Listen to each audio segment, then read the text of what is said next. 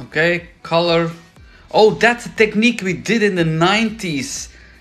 Yes, we did that with bleach to do some pixie haircuts, blonde tips.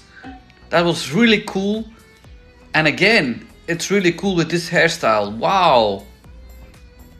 Nice. Well done.